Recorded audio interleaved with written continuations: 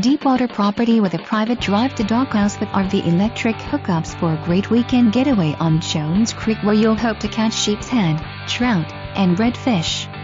Approximately 7 acres of marshland and 2 acres of buildable land currently with well and septic and a 1971 built home with a terrific outdoor living area, pole barn for boat and RV parking, and lots of palms and oaks to enjoy the coastal landscape wood floors and stainless kitchen with master bedroom with a large four-door closet and a second walk-in closet. Third bedroom is currently set up as a sitting area or den. House is serviced by efficient central heating and air heat pump unit and the home includes a one-year home warranty. The Midway location is approximately 20 minutes from the Savannah Highway 204 exit and very convenient for hunter or Fort Stewart families.